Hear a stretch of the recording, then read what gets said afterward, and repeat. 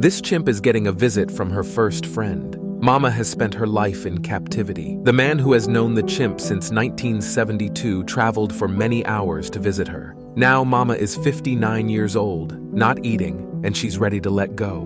But when she sees her old friend, she recognizes him immediately, and her reaction is priceless.